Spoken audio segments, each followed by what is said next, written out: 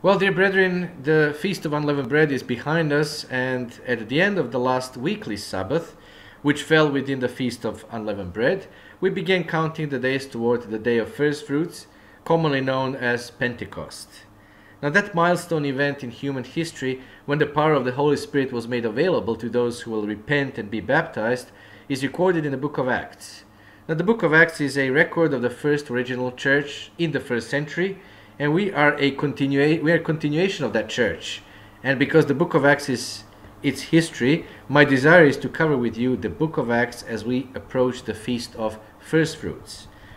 However, do you know, brethren, that the first Roman Pope, the founder of the Roman Catholic Church, is recorded in the book of Acts? It is the only place in the Bible where he is mentioned, and we find no more records of him in the scriptures.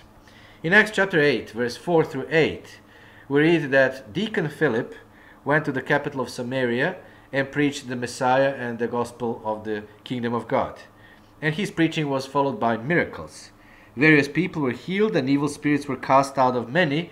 And then, starting in verse 9, we are informed about a famous man from Samaria who even got baptized. Acts chapter 8 and verse 9.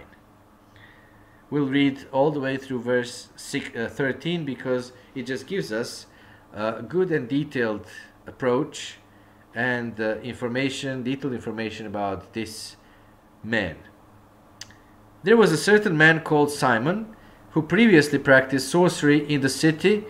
The city was the capital of Samaria and astonished the people of Samaria, claiming that he was someone great, to whom they all gave heed from the least to the greatest, saying, This man is the great power of God. And they heeded him because he had astonished them with his sorceries for a long time. But when they believed Philip, as he preached the things concerning the kingdom of God and the name of Jesus Christ, the Messiah in other words, both men and women were baptized. Then Simon himself also believed, and when he was baptized, he continued with Philip and was amazed, seeing the miracles and signs which were done. Well, brethren, it is important for us that we understand several facts from this account about Simon the Samaritan. Now, Simon was a Samaritan, not a Jew. This is important because Samaritans invented their own religion and their own Pentateuch, claiming themselves to be the chosen people, not the Jews. So they basically invented their all five books of the law, and they claimed that the books pointed out to them as the chosen people of course, in denying, they were denying the Jewish people, their neighbors, southern neighbors, the title of the chosen people. However, when you read the account of Jesus Christ and his encounter with the Samaritan woman at the well in John chapter 4 and verse 22, the Messiah, brethren, tells us clearly that salvation was of the Jews, not of the Samaritans. This is important because, as you can see in this passage, Samaritans basically had their false messiah, Simon the sorcerer. And also, please note that the Bible says that salvation was of the Jews. It doesn't say that it is for the Jews. The salvation is for the Jews as well as for all other peoples. But it came, of course, of the Jews because our Messiah was of the Jewish nationality, was born in the Jewish culture, observed all the laws that were Torah based and that are that his kinsmen also observed, even though they had many other added religious practices. And he didn't, by the way, he didn't join any sect of his time. He didn't join Pharisees, nor Sadducees, nor uh, Essenes, nobody else. He just came, was born in the flesh, and began to preach the gospel of the kingdom of God. And then, of course, his own church was founded on the day of Pentecost, the day of first fruits on in 31 AD. So anyway, the first point that I wanted to draw to you is that the salvation is, was of the Jews, not of Samaritans. We also have read in this passage that Simon Magus used demonic powers to deceive the Samaritans with both with his magic, with his both miracles and wonders that he performed by witchcraft and magic. And thus the whole population of Samaria as it says both small and great, looked on him as the greatest prophet. And brethren, all Samaritans believed in him That's why he was so astonished when Philip came and preached the gospel of kingdom. Many, many people turned away from him because all Samaritans believed in him and they worshiped him as the great one, as it says. Actually, they worshiped him as a god. Because we read, they said, This man is that is that power of God called great, that is the Almighty. So he was called the Almighty God, brethren. They called him God in the flesh. Now, Simon nominally became a Christian. We read that Simon himself believed and was baptized. Well, that is, he outwardly entered, under quotation mark, entered the Christian church. Nobody can enter the Christian church unless God adds him or her to the body of Christ. And yes, people can get baptized outwardly and yet only get wet and nothing more. This is the case with Simon Magus. Simon Magus even recognized that Christ's power was greater than his, but wanted to be associated with that great name. Mark what I said, the name, brethren. Because the religion which he invented later only had the name of Christ upon it. Everything else in that religion, the substance, the rituals, the customs, were having nothing to do with Jesus Christ at all, nor with the apostolic apostolic customs and apostolic religion. So seeing so many who now believed in the name of Christ, Simon Magus realized a great potential that Christianity had. And obviously he saw it as an opportunity for a personal gain as we read later in the chapter. Now the apostles in Jerusalem heard that Samaria received the word of God, so they sent Simon Peter, the apostle Simon Peter, and the apostle John to them to lay hands on the newly baptized so that they would receive the power of the Holy Spirit. So they were only immersed into the water in the name of Jesus Christ and their sins were now cleansed. And now into their cleansed you know into their cleansed state spiritual state they could now receive the Holy Spirit so by laying on of hands. And so we read now that Simon of Samaria was a witness to that. Verse 18 Acts chapter 8 verse 18 and 19 and when Simon saw that through the laying of the apostles hands the Holy Spirit was given he offered them money saying, Give me this power also that anyone on whom I lay hands may receive the Holy Spirit. Well, brethren, so obviously Simon Magus was thinking of a great prestige that the office of an apostle would give him. After all, he was already established in Samaria and was revered by all the Samaritans, right? By all his kinsmen. He was their God in the flesh, their Messiah. So it was logical to Simon that he would become an apostle to Samaritans. Yes, brethren, it was logical to his carnal mind, which obviously never experienced true repentance. We talked a lot about repentance in the last weeks, brethren, didn't we? From what we read about Simon of Samaria, it seems that he didn't even repent of what he had of what even he had done, let alone of what he was. The apostle Peter immediately perceived his intention. It wasn't that Simon wanted to buy the Holy Spirit alone, Oh no, brethren, his main goal was to become an apostle. Verse 21. Peter responded to him, You have neither part nor portion in this matter, for your heart is not right in the sight of God. Now, the King James Version says, You have neither part nor lot in this matter, which is a very good translation because the true apostles, as you probably remember, had been chosen after Christ's death to take part in the apostleship by lot we, you find that account in Acts, book of Acts, chapter 1, verse 25 and 26. So Peter was telling Simon he couldn't buy an apostleship. It wasn't something to be bought, it's not something to be purchased.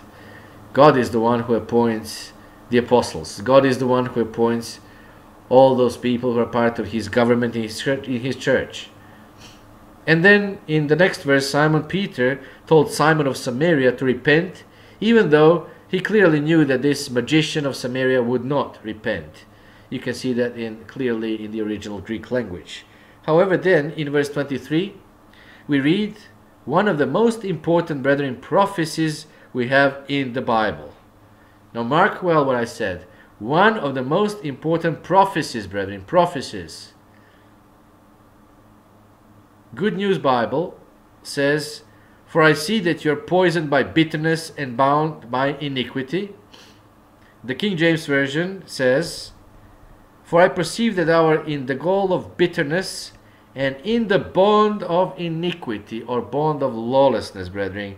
So, rendering of this verse 23 in our languages, all our languages, French, uh, Serbian, English, the renderings of this verse in our languages do not, Spanish do not give us the full force of Peter's accusation of Simon Magus. Brethren, the essence of verse 23 is that Peter knew the mind of this man and what this man was to become. Now we understand that from a commentary of William Ramsay in his Pictures of the Apostolic Church, page 60. Ramsay says, Peter rebuked him in strong and prophetic terms. The prophecy is concealed in the ordinary translation. The Greek means, Thou art for a gall of bitterness and a fetter of unrighteousness or lawlessness, in effect, a cause of bitterness and corruption to others. End of the quote. So, brethren, this was a prophecy. Now, what does that prophecy actually tell us? It tells us that, you know, what Simon the sorcerer of Samaria was to become. Lange's commentary, volume 9, page 148, explains this. He says Peter's words literally mean, I regard you as a man whose influence will be like that of bitter gall, poison, and a bond of unrighteousness or lawlessness, or as a man who has reached such a state. End of the quote. In other words, Simon of Samaria was prophesied to be the adversary of original church uh, in the future. And this prophecy, brethren, is the key for us to understand the rest of the New Testament as far as the origins of the heresies mentioned in the letters of the apostles are concerned. Because there is hardly any letter of the apostle, hardly any epistle of the apostles that does not mention basically the religious system of Simon Magus which is called Gnosticism, which we already gave. I gave you a good message about Gnosticism. We, we basically touched upon several scriptures that defy the Gnostic teachings of Simon Magus. And one of these days, yes, certainly we'll just go through all the New Testament scriptures that today's churchianity twists to their own destruction. And it's all the consequence of the of the teachings of the father of Gnosticism, or the father of all heresies as he is known, which is the first Roman, who is the first Roman Pope, and that is Simon Magus. So he was prophesied to be the adversary of the original apostolic church in the future, which means we are the continuation of that church from the future. That means that the teachings and the followers of Simon Magus are well and alive and kicking even today, giving the challenges and troubles to us today, brethren. And the chief heretic, Simon of Samaria, the father of Gnosticism, originated the Gnostic doctrinal heresies that had crept into the original Church of God and subverted it from within. Now, the Apostle Peter, brethren, said that Simon was to become a gall of bitterness. Well, in the Jewish world of that time, it was a figure of speech adopted from the Old Testament, which denoted going over to the idols and abominations of the heathen. Let us go to Deuteronomy chapter 29. There in Deuteronomy 29, this figure of speech is plainly used. Deuteronomy 29, verse 16. Moses writes to Israelites, For you know how we have dwelt in the land of Egypt and how we came through the nations which he passed by. And you have seen their abominations and their idols, wood and stone, silver and gold, which were among them, lest there should be any you, man or woman or family or tribe, whose heart turns away this day from the Lord our God to go and serve the gods of these nations, lest there should be among you a root that bears gall and wormwood a root that bears gall and wormwood. So when the Apostle Peter applied to Simon Magus the phrase gall of bitterness, he meant that Simon would be the one responsible for the introduction of heathen beliefs and idols into true Christianity. That is why, brethren, later Jude writes in his epistle, verse 4, about the very men who followed Simon Magus, including Simon Magus himself. It's a very famous verse, which I'm sure you know, which says, For there are certain men crept in unawares, who were before of old ordained to this condemnation. So Peter recognized that Satan was going to use Simon Magus as the great protagonist of false Christianity that will take over the true church of God. Not only does the book of Acts, brethren, show the beginnings of the true church, but it equally reveals the origin of the false church masquerading as Christianity. Now, Simon of Samaria never repented of his doctrinal error and his demonic magic. He was raised in Samaria, where he came to be celebrated as God in the flesh. Now, what did Simon and the Samaritans believe? Well, the Babylonian religion had come especially to Samaria. The Samaritans were largely Babylonian by race, brethren. In 2 Kings chapter 17 and in verse 24, it tells us that most of the Samaritans had been taken to Samaria from Babylon and adjacent areas, and they replaced the exiled ten tribes of Israel. They adopted the idea of being chosen people, but they brought their religion with them and their religion was nothing more than the outright paganism under the guise of Yahweh or Jehovah worship. Now, brethren, as the history shows us, there were originally five Babylonian tribes who had been transported to the area where the ten tribes of Israel once lived before they were defeated and captured by the Assyrians. And those five tribes brought their Babylonian and Assyrian gods with them. They took upon themselves the name the people of Yahweh or people of Jehovah, but their religion was a mixture of Israelitish calf worship and Babylonianism, just as Simon Magus later appropriated Christ's name but continued his pagan abominations. So that final religious state of Samaritans is described in 2 Kings chapter 17 verse 41. The entire chapter 17 or a good portion of chapter 17 speaks about the Samaritans, their religion, and how they replaced the ten tribes of Israel in the land, in the promised land. Verse 41, chapter 17 and 2 Kings. So these nations, those five nations, feared the Lord.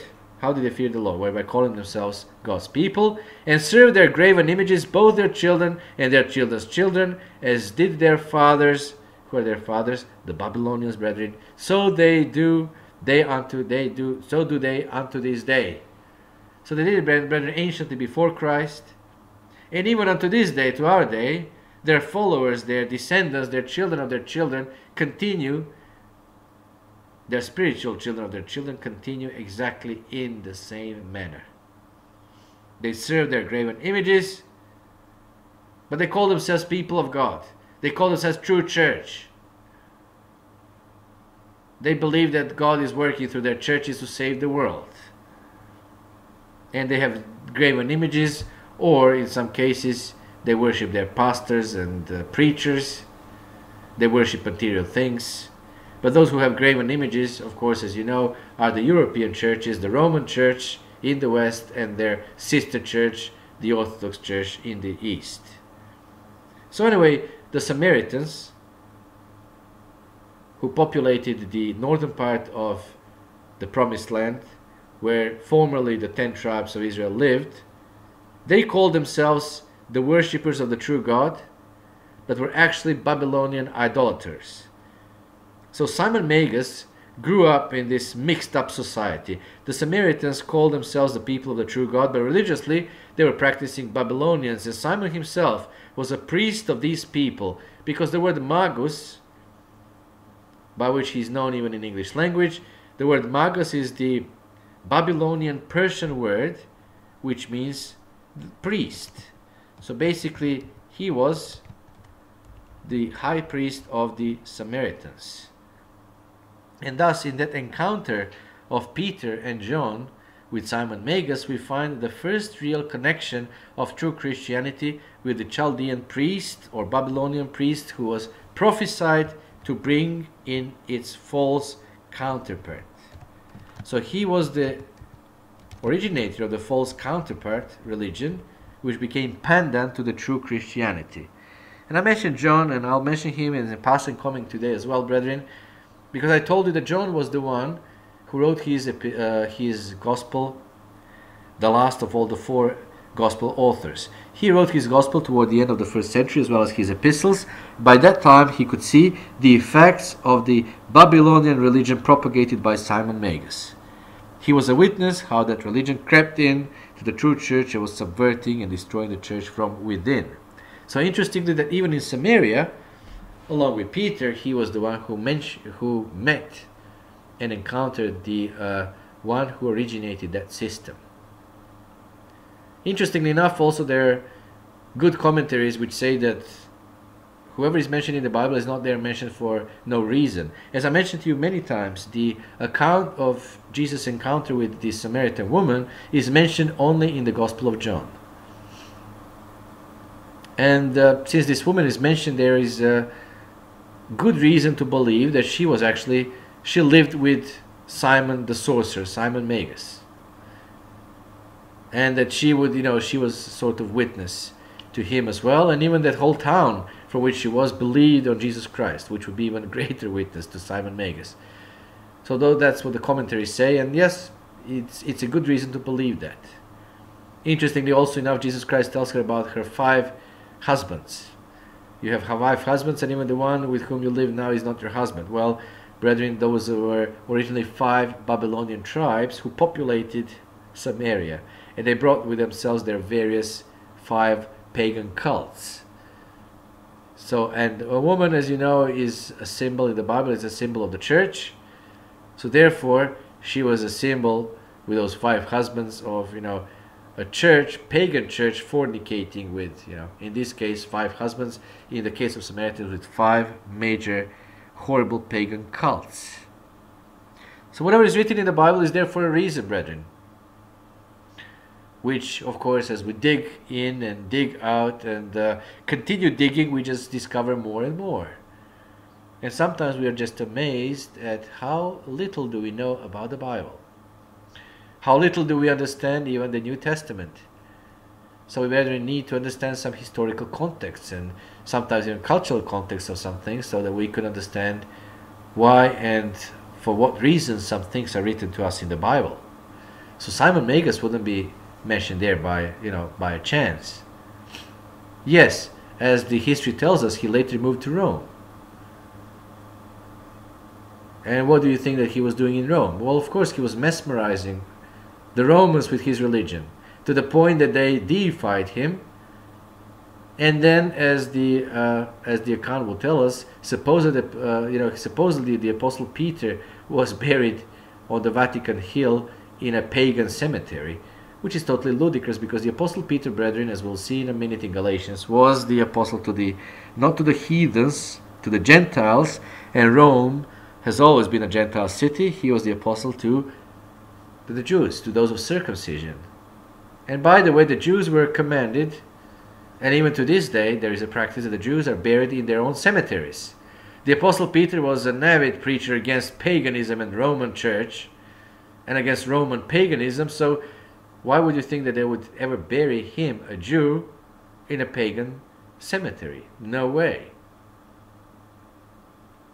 And plus, let me just tell you this much as well. Perhaps I'm running ahead of myself a bit, but why not?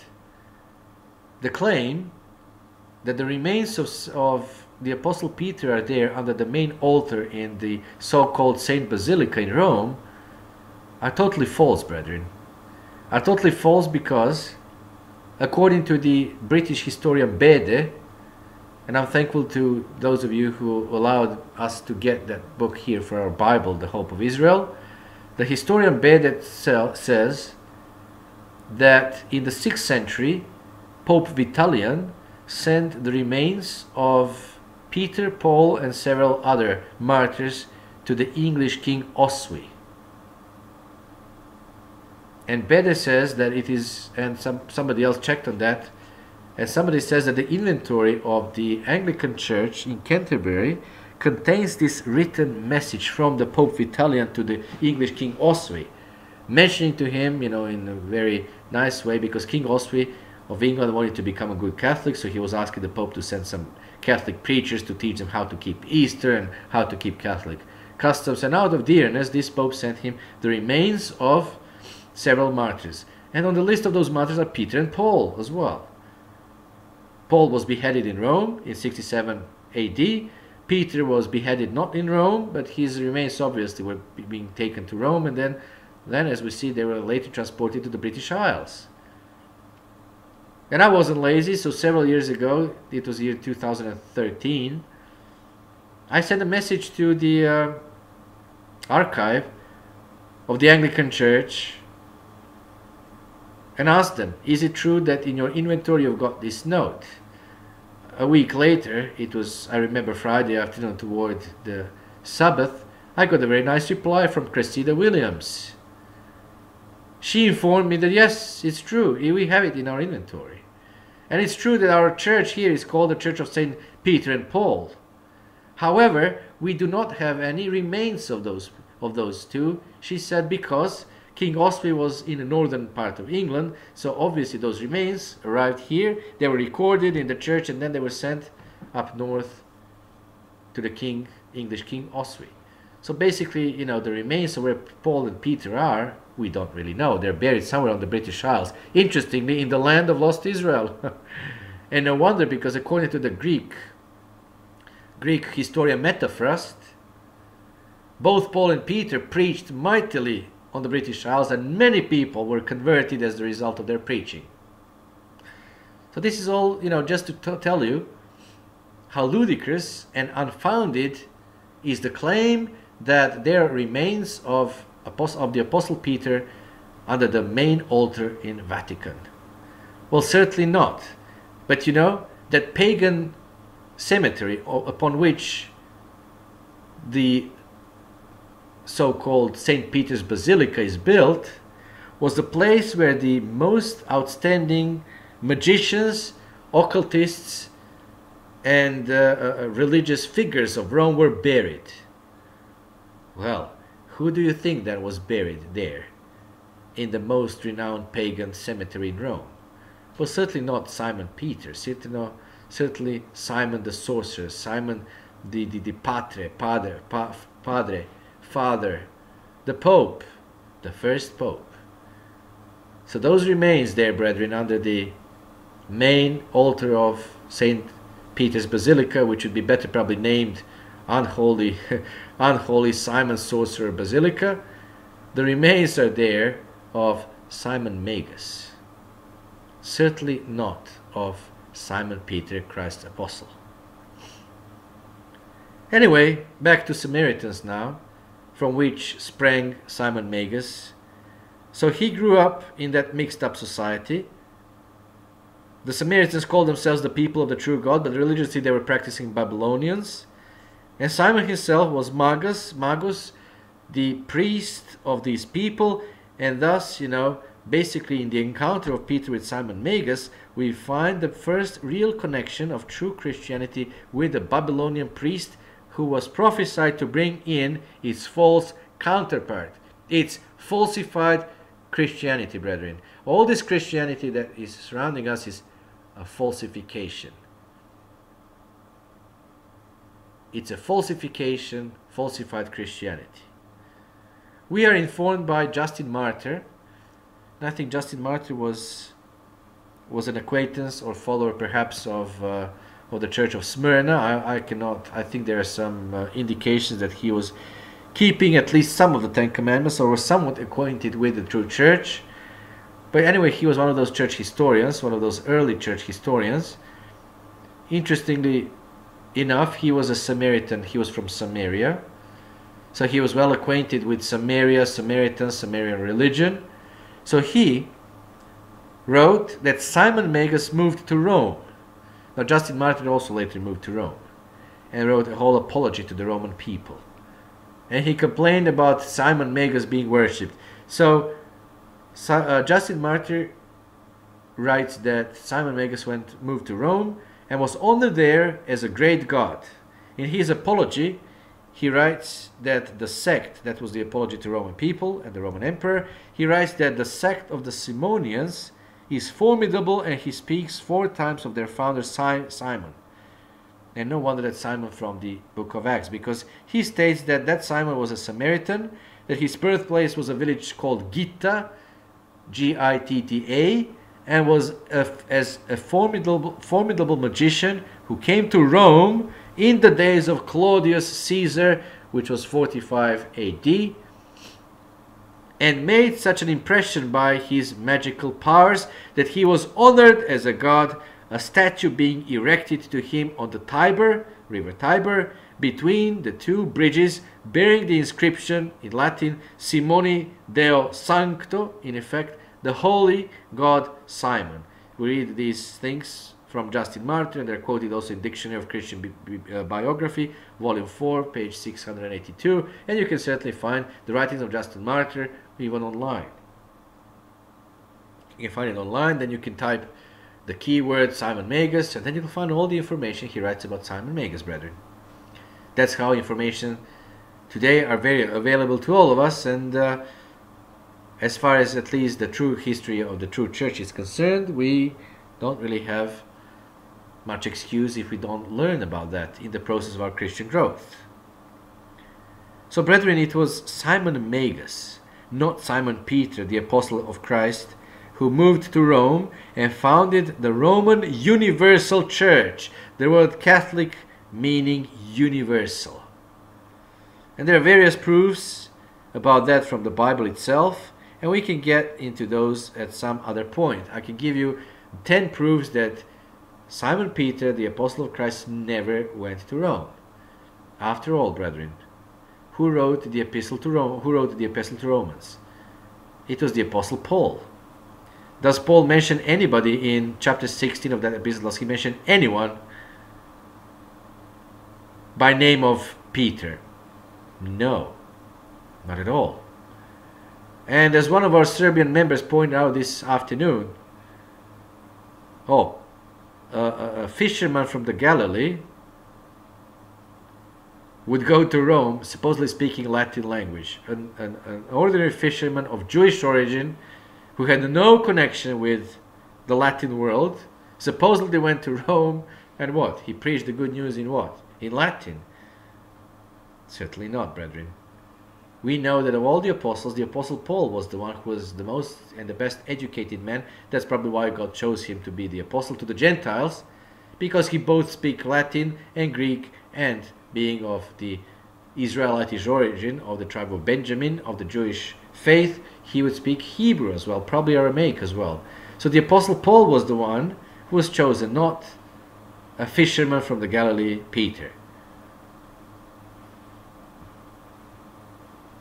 So there are various proofs that from the Bible we can get other points, but I'll just suffice to say now that in Galatians chapter 2 verse 7 and 8 we read Paul's statement. Paul says, The gospel of the circumcision was unto Peter. For he that wrought effectually in Peter to the apostleship of the circumcision, the same was mighty in me toward the Gentiles, toward the non Jews. The Roman church was a Gentile church. The Rome, Rome, the city of Rome, has always been, and in the, back in those days was a Gentile, purely Gentile city, brethren. It was the seat of all paganism of the world. All the pagan cults from Asia Minor who fled persecution uh, or, or any other trouble found their home in Rome. Rome became the home of all paganism. What a wonderful good place for a pagan magician, Simon Magus, to find his new home and then to blend all those religions into one universal religion, universal church with the name of Christ, Christian Universal Church. Amazing, brethren. What is the successor of Simon Magus doing today? Well, exactly the same. He's bringing together all religions. Ecumenism, the new trend in religious world. All the religions are coming under one leadership. All that you can do is just, you know, Google out, enter some keywords into the search engine, or on YouTube you'll have the documentary programs. So all of that is available to us, and we are witnessing to that. The history is repeating itself. So it was Paul, brethren, not Peter, who was commissioned to be the chief apostle to the Gentiles. And who was it that wrote the epistle to Romans? Again, well, it was Paul, of course, because Rome was a Gentile city. It was never a city of circumcision or a Jewish city. And Paul further mentioned his special office as, uh, as the Gentile apostle in 2 Timothy chapter 1, verse 11, when he says to Timothy, Whereunto I am appointed a preacher and an apostle and a teacher of the Gentiles. Brethren, Peter is nowhere in the Bible called the apostle to the Gentiles. And this precludes him from going to Rome to become the head of a Gentile community. Even that is good enough proof, let alone various others. Where was Peter, you may ask? Well, in 1 Peter chapter 5, verse 13, here is one of those confusing verses, one of those difficult to understand scriptures. Because he sends greetings from Babylon in 1 Peter chapter 5 verse 13, brethren. And it was about 66 AD when he wrote that. So we find him in the city of Babylon among the Jews. Oh, you are now confused. How, how come among the Jews? Well, brethren, yes, the Babylon, the name Babylon is related to the city on seven hills and to the church that is on seven hills, which is Rome, Roman church. However, however, Rome today, the Roman Church today, they're spiritual Babylon because they follow exactly spiritually all the customs and rites and uh, and rituals of the Babylonian uh, religion. However, there was a province called Babylon, brethren. Province called Babylon, and there was a sizable Jewish diaspora which lived in Babylon. So why was Peter in Babylon? Well, he wasn't in the Rome, as many would say. He wrote, was writing from Rome, and therefore, because Rome is Babylon. Rome is spiritual Babylon, but the literal Babylon existed. And history shows that there were as many Jews in the Mesopotamian area in Christ's time as there were in the Promised Land. So a huge Jewish diaspora was present in Babylon, in Mesopotamia, in the east, brethren, not in the west. And it is no wonder that we find Peter in the east. And that's the reason, perhaps, why the scholars say that Peter's writings are strongly Aramaic in flavor, because the type of Aramaic was spoken in Babylon among the Jewish diaspora. And Peter was used to their Eastern dialect, of course. So at the times the Catholics believed Peter was in Rome, the Bible clearly shows that he was elsewhere, brethren. And by paying attention to God's own words, we will never be deceived. Peter was never the Bishop of Rome. Never. There is hardly any epistle that does not mention the religion of Simon Magus. Famous Philip Schaff, in his History of the Church, says the following about Simon Magus and his doctrines. The quote Plain traces of this error appear in the letter epistles of Paul to the Colossians, to Timothy, and to Titus, the second epistle of Peter, the first two epistles of John, the epistle of Jude, and the messages of the Apocalypse to the seven churches. Now, in due course, brethren, we'll indeed cover all those verses in the New Testament that address the heresies of Simon Magus. However, as I often point out to you, the apostle who makes the most deliberate and planned attack on the false Christianity of Simon Magus is the apostle John. And I've already mentioned to you on numerous occasions that John's gospel has an entirely different approach to the subject of Christ's ministry than the other three. Unlike other gospel writers and unlike the epistles of Paul, John's writings came toward the end of the first century, and times had changed. John was a witness to the fact that the teachings of, of Christ were being corrupted by Simon Magus' plot to destroy the truth. We probably notice, Bremlin, I hope you notice when you read John, John constantly underlines the necessity of keeping the commandments of God. Why? Well, because the false system was preaching liberal doctrines. John is the only gospel writer who mentions Christ's meeting with the woman of Samaria. All the other gospels mention Samaria about five times, and even then only in order to give us a simple geographical indication. Yet John devotes more space to matters in Samaria than is done in all the rest of the New Testament put together. So, John, you see, tied up the gospel accounts of Christ and gave the church a well rounded gospel, bringing in the extra points which were necessary for our knowing. That's why so many times you'll hear me pointing out the Apostle John and his writings, brethren. Because he gave us a well rounded gospel and he was a witness of the accelerating apostasy taking place by the end of the first century in the original true church. And the leaders of that apostasy were the preachers of Simon Magus, Samaritans, and John's epistles, when we read them, they're packed with specific information regarding the conspiracy to overthrow the truth. And his last witness to God's truth before his death was the book of Revelation. Yes, it's a book of Jesus Christ, revelation from Jesus Christ, but it was given to John to write it for us. Christ gave his last written message of warning of this system through John in Revelation. So no wonder that the book of Revelation is very interesting. Because Christ tells us in the book of Revelation the very names of the system to watch in a hidden way. Well, brethren, why is it hidden? Because, of course, Revelation was the letter to the seven churches, which represent also the seven successive church eras through the centuries. If John wrote in a clear message such as the Church of Rome, Romans, Samaritans, Simon Magus, the censorship would destroy his letter and it would not be delivered to the seven churches. So that's why he writes in hidden language, which his readers would understand and could understand. And thanks be to the Eternal, in these last end time day, days and times, we are also able to understand and decipher the book of Revelation and to understand it completely. And now that we mentioned Simon Magus, brethren, from this point on, I'm sure that you will understand the book of Revelation much better than ever before. Because the book of Acts describes the, uh, the beginning of the false system. Then the epistles nail down its doctrines and describe its activities. And then comes the book of Revelation with, with, with showing us the false system's prophetic history through all eras of the church.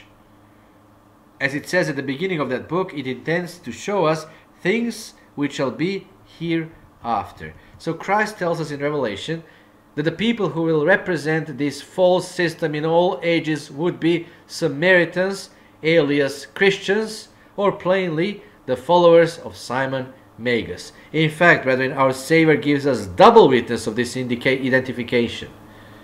In the book of Acts, he tells us of Simon Magus being the beginning of the diabolical scheme, and then he reinforces it by telling us in Revelation that Simon's followers will make up the false system until Christ returns to this earth.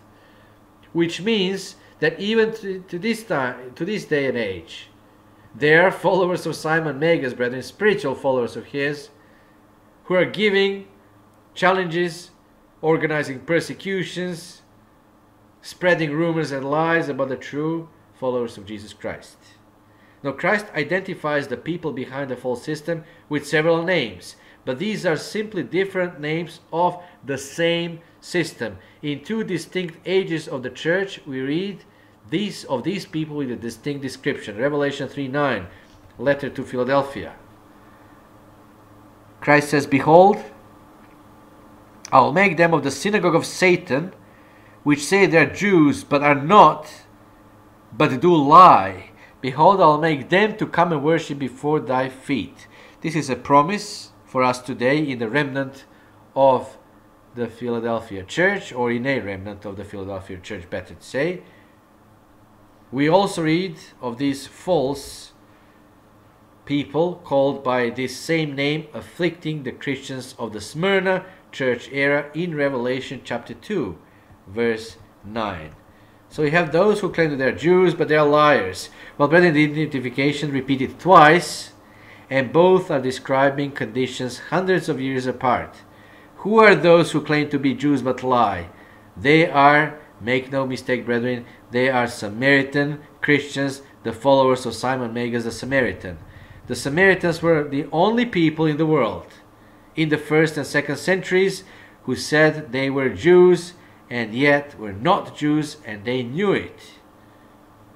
They knew it. Remember that account again of Jesus' encounter with the Samaritan woman. She was amazed that he, a Jew, would talk to her. Because the Jewish people had nothing to do with those impostors. So they lied. Josephus, the famous historian, said at the end of the first century, just about the time John wrote Revelation, here is a quote from Antiquities of Josephus, book 11, chapter 8, line or paragraph 6. He says, When the Jews are in adversity, they, the Samaritans, deny that they are kin to them, and they then they confess the truth but when they perceive that some good fortune has befallen them, they immediately pretend to have commune with them, saying that they belong to them and desire their, and desire their genealogy from the posterity of Joseph, Ephraim, and Manasseh. So, brethren, the Samaritans, well, just like Simon Magus, if to their advantage, call themselves Jews. But they were liars. They knew better. Their own records showed they came from Babylon and adjacent areas. And this is exactly what the Old Testament says. I told you in 2 Kings chapter 17, you can read about that, brethren. So they were clearly Gentiles.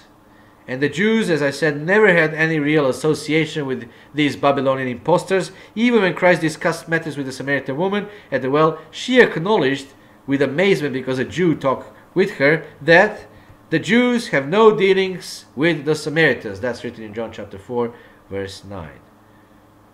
But even though the Samaritans were Gentiles, they consistently lied about their origin when it was profitable to them. So notice that the woman at the well, brethren, carried on the fiction of kinship with the Jews. When she said in verse 12 of John chapter 4, she said, Art thou greater than our father Jacob, which gave us the well? Our father Jacob. Brethren, they claim to be a type of Jew, but they were liars. And this is made plain by Christ himself when he first sent forth the 12 apostles in Matthew chapter 10, verse 5 and 6. And this is the commission he gave them, Matthew 10, verse 5. Go not into the way of the Gentiles, and into any city of the Samaritans enter you not, but go rather to the lost sheep of the house of Israel. Jews also belong to the house of Israel. So the apostles were to go to the Jews and Israel, but not to the Gentiles or Samaritans. The Samaritans were plainly Gentiles, not Jews. They were liars. So, what is the synagogue of Satan then? Well, the synagogue of Satan are Samaritan Christians, the followers of Simon Magus. And put these Samaritan Christians, put the word Christians under quotation marks, of course. They had nothing to do with Christianity, just like their modern counterparts, brethren, have nothing to do with true Christianity. The phrase which say they are Jews and are not but do lie could easily be set off by brackets, for that is the way John intended it. He meant only one people, the Christian Samaritans. Now the, the Ephesus church era had a group they had to counter as well. Revelation chapter 2 verse 2. Revelation 2 verse 2 says, And thou hast tried them which say they are apostles and are not, and has found them liars. Well, since the Bible is our guide in understanding this matter, brethren, the book of the books, the Bible shows us only one man who heretically sought an apostleship and never repented of his desire to have that office. It was Simon Magus. History shows us that Simon established his own Christianity with his own apostles. So compare the statement about the Samaritans, which say they are Jews and are not, but do lie, with which say they are apostles and are not, and has found them liars. The only difference are the words Jews and apostles. But if we get the point at which John is driving, he's saying that these people were calling themselves Jewish apostles, but that they were all liars. Or just like their modern counterparts claim that they're spiritual Jews and that they have replaced the house of Israel. They are Christians who have replaced the house of Israel, the ancient Israel. They cannot be more deceived, brethren. And there again, the pagan counterpart, the pagan pendant to us, brethren. We are Israel. We are spirit led Israel. And many of us, if not all of us, have some origin from the house of Israel. So you see, history is repeating itself, brethren. There are liars around who claim to be Christian Jews. You know, they're Jew, Jews by, they're now spiritual Jews, which is a lie. They don't practice anything of true Christianity. And they're enemies of the truth. Meanwhile, we are the spirit led Israel. We are the only legitimate Israel, spirit led Israel, not them. They're liars. We do not lie. We have received the Holy Spirit of truth that guides us into all the truth, reveals to us our even origin, reveals to us who we are, that we are Israel, spirit led Israel, reveals that all the nations will have to be grafted into the Israel, the house of Israel, brethren. The very Apostle Paul writes that in Romans chapter 11 and obviously for a purpose because you know those apostate the roman church what did they do? Well just was destroyed. Most of their members were destroyed during the persecution of that madman nero. The pillars of the church were destroyed. What remained were just some newcomers who just basically apostated and created what was anciently the roman catholic church.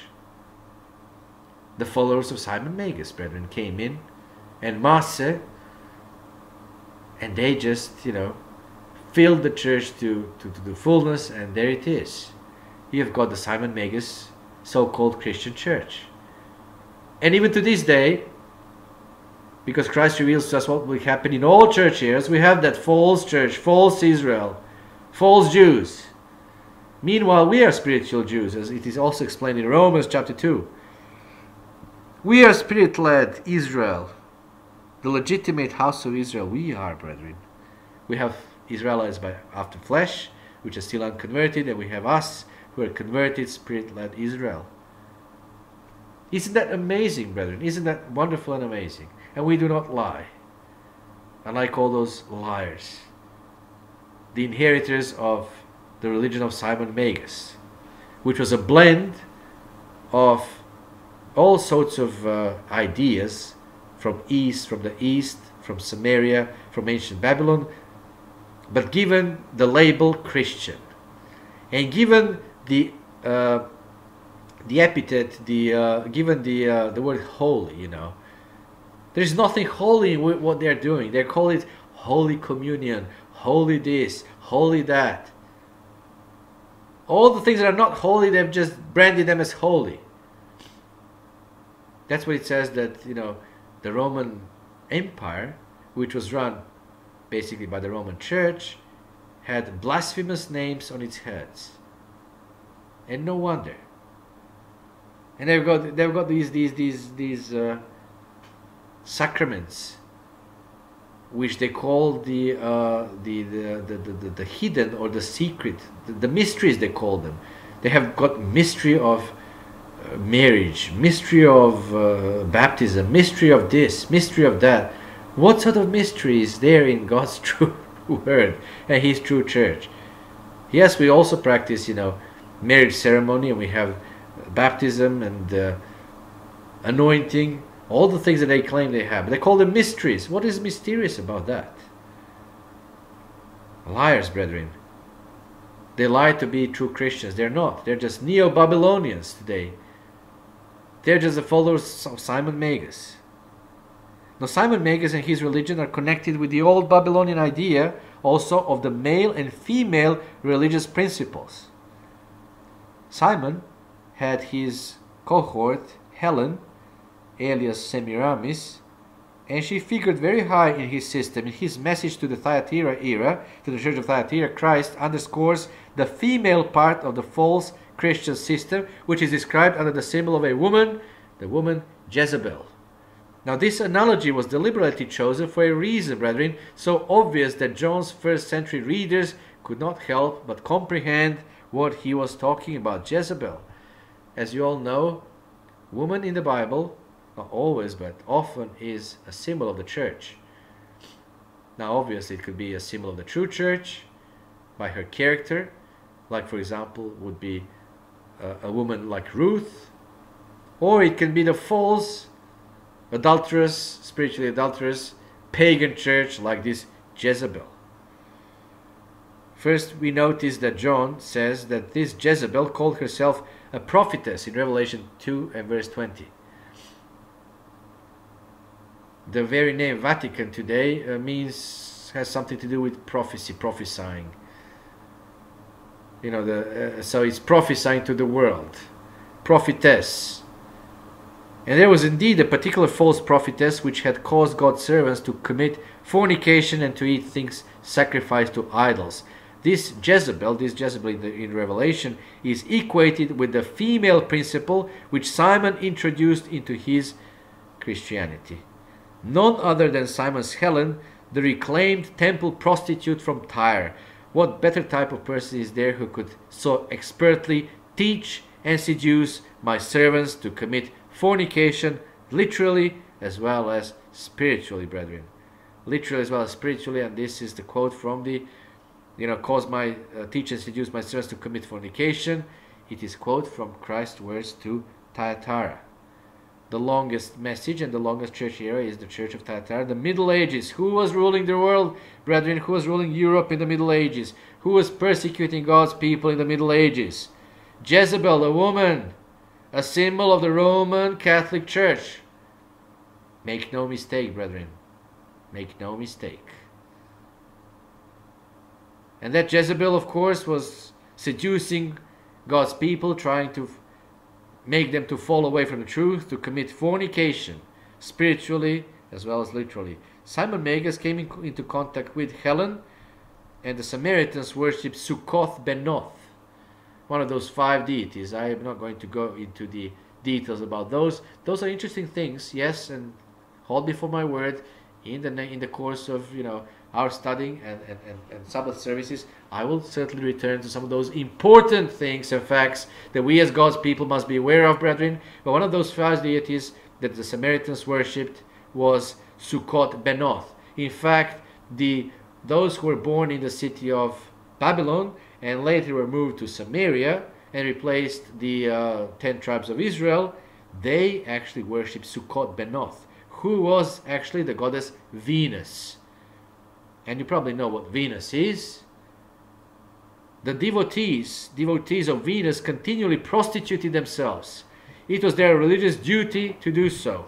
And this woman was persuaded by Simon's demonic power to follow him and to become the female principle the necessary counterpart to his claim as being a type of male deity.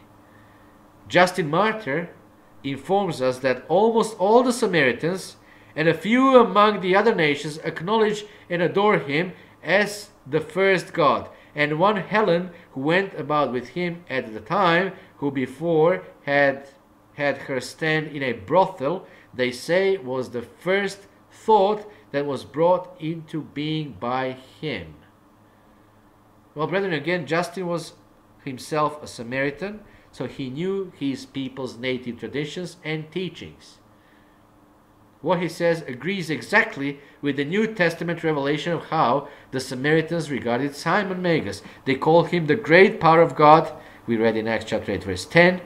It is because of this that they believed him to have creative powers. He was the Almighty God with creative powers, brethren. What a horrible blasphemy. Just like today in the in this successor church, the successors of Simon Magus and all the priests who succeed Simon Magus and his religions have this creative power to turn a wafer into the real body of Christ and the plain wine into the real blood of Christ, brethren. So they're magicians, you know. just like their forefather Simon Magus, just like their founder was, brethren. Think about that. Use your common sense, brethren. Connect all this information with what you know what you see around yourself, and then you will see exactly that it is the same system that is opposing the truth of God today in every single aspect of Christian, true Christian life. So Simon brought his female principle from the city of Tyre, the original Jezebel, the woman who seduced Israel to worship Baal, was the daughter of the king of the Sidonites, whose capital was the city of Tyre. You'll read about that in 1 Kings chapter 16 and verse 31. And not only that, but Helen claimed herself to be the creation of Simon. She was, in a sense, the daughter of Simon, but the original Jezebel was the little daughter of the king of Tyre. And the followers of Simon and Helen basically called them our Lord and our Lady. Lord and Lady. Which church, brethren, today has created a cult of Mary, calling her Our Lady? And that Mary gave birth to our Lord. So usually on their icons you'll see, or their statues, you'll see Our Lady and our Lord. Do we need more proof, brethren? Do we need say more? Our Lord and Lady. I'm trying to remember how it is said in uh, in Spanish, but only the Croatian words come to my mind because Croatians are staunch Catholics, the greatest Catholics on the Balkan Peninsula. They call him naš gosp gospodin i naša gospa. Gospodin i gospa, Lord and Lady. Now there is also, brethren, another name related to the followers of Simon Magus that appears in the book of there is another name that appears in the book of Revelation. Nicolaitans. Nicolaitans, but who were the Nicolaitans, brethren? What was that what was that they did? What was it that they did? Well, in his let, later years, the Apostle Paul left the churches of God which he had raised up in Asia Minor under the general supervision of the Apostle Peter. That's also interesting, and I will again, if you see the second epistle of Peter, we can clearly see all those churches that were left and given over to Peter's care another time we'll talk about that. It's amazing how many interesting little details are there, brethren, for us to understand in a context. When we have the context, then we understand the book much better. So anyhow, you will see in Acts chapter 14, verse 26 and 28, that Paul left, among other cities, the city of Antioch in Syria under Peter's care. So it was the general supervision of Peter again in his latter years, keep in mind we're talking about the Asia Minor, we're talking about eastern ancient city of Antioch. So, so Peter, the true Peter, was not in the west but in the east. Or the false Peter, the false Simon Peter, the false Simon Mega, Simon Padre, Simon Father was the, on the, in the west. So anyway, Catholic writers note that Peter watched over the Gentile converts from the ancient city of Antioch in Syria, as Antioch, next to Jerusalem, brethren, was the most important early center of the church, the true church, of course. And you'll find also in Acts chapter 11, verse 22, that Barnabas had been sent there to be its first minister. However, trouble soon arose. Eusebius' chronicle gives Peter the credit, the Apostle Peter the credit for establishing this church in AD 42. Now, mind you, the time, AD 42, the middle of the first century. And then another account tells why Peter went there to withstand Simon Magus. Simon Magus was well and alive and active, brethren. So first, obviously, from Samaria, he went to Antioch of Syria, then later moved to Rome. Now, Jesus alluded to the situation which existed in Antioch at that time and elsewhere later in his message to the church of Ephesus. Revelation 2 and verse 15. But this thou hast, that thou hatest the deeds of the Nicolaitans, which I also hate. So Christ hated the deeds, the evil works of the Nicolaitans. Who were these heretics? Well, church fathers, Ignatius, Irenaeus, Clement of Alexandria, and Eusebius, they all wrote of these Nicolaitans. From the Catholic Encyclopedia and from Hastings Dictionary of the Bible, articles Nicholas and Nicolaitans, we have the explanation, brethren. These Nicolaitans felt themselves free from any obligation to keep God's law, having, as Jude 4 says, turned the grace of God into lasciviousness, which means license to do what they pleased. And even to this day, all these nominal Christians, they can do what they please. And then perhaps, you know, when they see the death coming for them, then they can confess their sins, and their sins they'll be absolved, their sins will be forgiven, supposedly. Forgiven by who? By those almighty Catholic and other priests who have power to, you know, forgive sins. We only know that Jesus Christ and His blood is able to forgive sins, brethren. No wonder that the those blasphemous names are attached to the Roman system. It's blasphemy after blasphemy, calling unholy things holy, uh, you know, attaching giving the power to the priesthood, the power that has only Almighty God, Jesus Christ in this case, and His Father and our Father as well. So some of those, you know, some of those Nicolaitans carried this principle to its logical conclusion, and they led lives of unrestrained indulgence. They claimed to have derived from Nicholas their doctrine of promiscuity, Nicholas. So that's why they're Nicolaitas. Who was Nicholas now? Brethren, it is not the deacon Nicholas, who is also mentioned in Acts chapter 6 and verse 5. Many have this wrong supposition. No, it's not the deacon Nicholas. This Nicholas of Antioch is identified with a bishop Nicholas of Samaria, a heretic in company with Simon Magus. So you have those two heretics, Nicholas of Samaria and Simon Magus, they came to, into the Antioch in the middle of the first century and were causing troubles. But why was he called Nicholas of Antioch? Well, because, because brethren, he was with Simon at Antioch before the Apostle Peter came there to counteract their poison, their gall of bitterness. And perhaps those supposed accounts of the encounter of the Apostle Peter and Simon Magus in Rome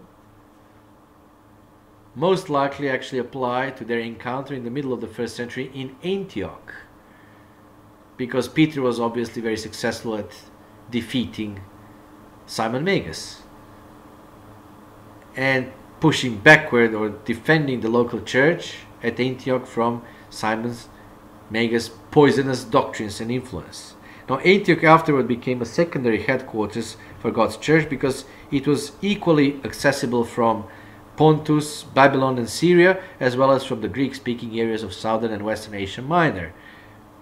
And Antioch was the major Gentile center for the Feast of Tabernacles.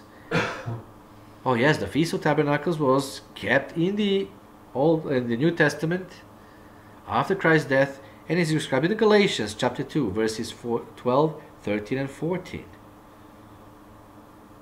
And then that was at the Feast of Tabernacles when Paul had that very great discussion with Peter and told him, You live like, you behave like the Gentiles. How do you expect the Gentiles to, you know, live properly?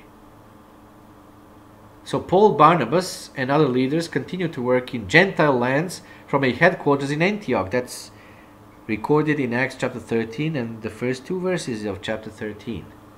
And even long after the apostolic days, brethren, Antioch remained a chief center of professing Christians. It became second only to Alexandria in Egypt in the false church and one of the five seats of patriarchs. Patriarchs are Greek fathers or papas.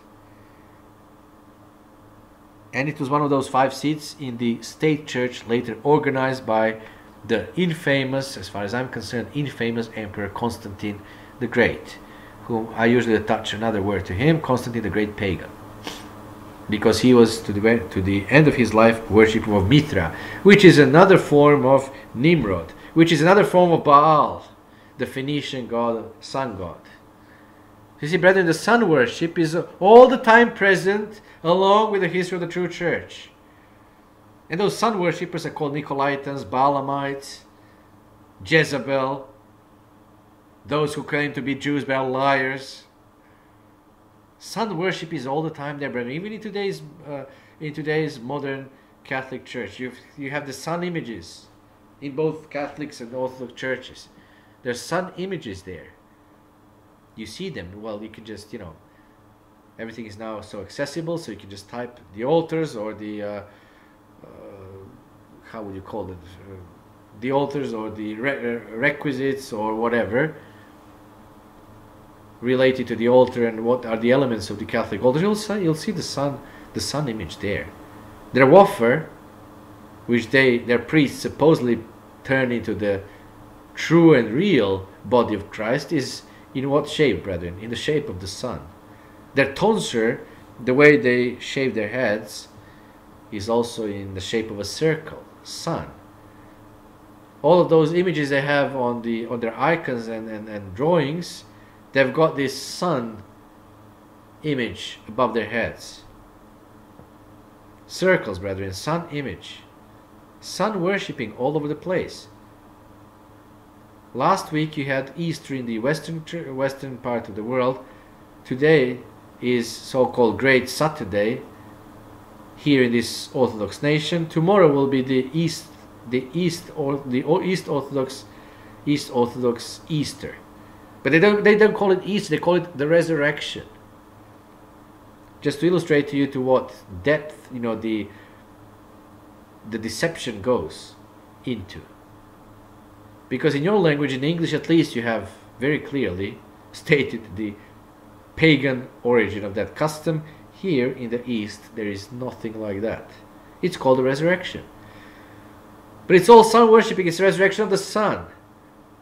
Remember the Tammuz, Ezekiel chapter 8, one of those abominations that women who are supposed to be true worshippers of true God were weeping for Tammuz. Why were they weeping? Because Tammuz was dead, brethren. And then what a great joy! He rises up, you know, on Easter Sunday. Tammuz is resurrected and a great joy and celebration comes. What does that have to do with Jesus Christ and his religion? Nothing it has to do.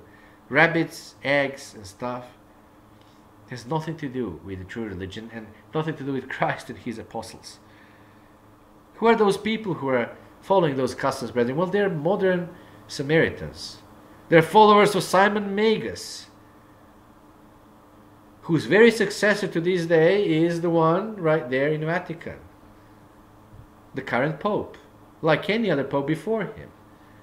They're all the followers, the successors of Simon Magus. And now in Christ's message to the church at Pergamos, Nicolaitans are mentioned again among and along with those who hold the doctrine of Balaam. Revelation 2, verse 14, 15, and 16.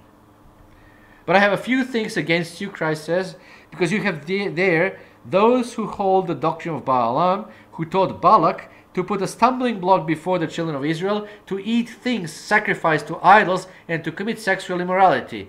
Thus you have also those who hold the doctrine of the Nicolaitans, which thing I hate. Now, what was the doctrine of Balaam? We have just explained who were the Nicolaitans. Now let's explain the doctrine of Balaam, brethren. We find Balaam, and it's also very interesting, we'll go perhaps in some other details at another point, mentioned back in Numbers 22. The Hebrew the name in Hebrew, Balaam, means conqueror of the people. Now it is the Hebrew equivalent of the Greek Nicholas. Greek Nicholas also means exactly that, conqueror of the people. So both words, Balaam and Nicholas, denoted the office once held by Nimrod, who was Nimrod, conqueror of the people, the first despot, the first dictator in the history of mankind, recorded in Genesis chapter 10, whose religion is well recorded in details in Alexander Hislop's book, the two Babylons. It's available to be downloaded even from internet, brethren. Written a bit in, in archaic English language, but still very valuable source that we'll use certainly when we need to understand the paganism, modern paganism, under the cloak of Christianity. Actually, the paganism labeled Christianity. Or, as some commentators say, baptized heathenism. So, Balaam, Numbers 22, conqueror of the people, the same as Nicholas. So, both words describe the office once held by Nimrod, dictator and arch rebel, who after the flood first established man's political and religious government based on false principles in opposition to the government of God. Well, just like their successor Simon Magus was in opposition to the government of God, to the government of the apostles, brethren. Just like Simon Magus' successors today, supposedly on the Holy See, another blasphemy, Holy See, can you imagine that? are also people who are opposed to the government of God. So this Balaam was the greatest pagan prophet. He was the greatest religious figure of this of his time. He was the Pontifex Maximus of that day, the chief oracle of paganism. So now note that this man's headquarters, 1,500 years before Christ, was called in verse 5 in Numbers 22, Pethor, P-E-T-H-O-R, Pethor, which has similarity to Peter gods and Peter worship. And Peter, of course, in those ancient languages meant father. That's why you have this modern title of the modern Simon Magus, Holy Father. Now, Another blasphemy, brethren, another horrible blasphemy. Now let the wise understand who today, in the same kind of kind office, is headquartered in a place called St. Peter's. Now, in Balaam's day, when the king of Moab was desperate because he feared the Israelites newly arrived out of Egypt were about to take away his kingdom and dominion, there was no higher religious authority on earth to whom he could go. And that is why he sent all the way to Pethor in Mesopotamia a place far to the north of his own country and near the border of modern Turkey. He completely passed up all his own priests, brethren, all his own priesthood, magicians, and astrologers in his own nation. He went straight to the top, to the Pontifex Maximus. Now Balaam's doctrine was contrary to God's, and now when the emissaries of Balak, king of Moab, asked Balaam to curse Israel, Balaam asked God if he might be allowed to do that. Now you may wonder, why would a high pagan priest do that? Well, brethren, even Satan himself asked God's permission to bring a curse on a man under God's protection. Remember Job? And remember the story of Job. In chapter 1, verse 9 through 12, Satan asked permission to strike at Job. Now Balaam wanted to go just as far in the way of evil as he dared, and that is Satan's way. However, God forced Balaam to bless Israelites instead of instead of to curse them. And in any case, the Jewish rabbinical literature knows Simon Magus as the new Balaam. And indeed, Simon Magus inherited the office of Balaam, who inherited that office from Nimrod. Nimrod so was the founder of the ancient Babylon and all the ancient Babylonian religion. His office and his religion was succeeded by Balaam, Numbers 22, conqueror of the people, and then Simon Magus inherited the office from, ba from Balaam, and he carried over that office over to the New Testament times, and his followers were named after one of his followers, Nicholas. Not the deacon Nicholas, but the Nicholas, a bishop of Samaria. Interesting, brethren. Amazing. When we understand all of these little facts, we understand the Bible much better. So the doctrine Balaam taught may be summarized as this to take part in the political and religious affairs of the world and in their sacrifices, under quotation mark sacrifices, at which physical fornication often occurred, to be a part of Satan's world and thereby commit spiritual fornication against Christ the future husband of his bride, the church ecclesia. Without any going into any details, I'll just remind you in Revelation 13, brethren, the second beast has two horns, which are representative of its ecclesiastical and political power. And there is only one unique state, brethren, which is at the same time the church. Is the Vatican state. The two horns, religious and political power. Vatican state, which is of course being deeply involved in all the political and other affairs of the world. So that was the doctrine of Balaam. And his successor, Simon Magus, and his modern successors today. Two horns, brethren, written there for us in the Bible to remind us. Many people forget the Vatican is not only a church, religion, Vatican is also a state. And therefore, all of our countries have the ambassadors at Vatican and vice versa. They've got their apostolic nuncios, apostolic emissaries also in our countries. And that was exactly, you see, the teaching of some false teachers who had crept into the congregations of the true church in the Pergamos era. Now, there were also those brethren with the Pergamos church who held the doctrines of the Nicolaitans. And these same Nicolaitans appeared in the era of Ephesian church, as we have already said. Their doctrine, too, was one of no law, unrestrained indulgence, promiscuity, their doctrine and the doctrine of Balaam sprang from the same source. And no wonder when today you read about scandalous reports from that church founded by Simon Magus about sexual promiscuity, abuse of children, all sorts of horrible things. No wonder, brethren. That's their ancient doctrine. It's Neo Babylonian now practices carried out into these New Testament times. But how did they differ, Nicolaitans from the Balaamites? And why did Jesus Christ charge the church in Pergamos with harboring both? Well, brethren, the doctrine of Balaam was the original universally received Babylonian religion of Asia Minor, where the city of Pergamos was, as well as of the Tigris and Euphrates Valley and Armenia. So here was the home of the licentious worship of Bacchus and Venus.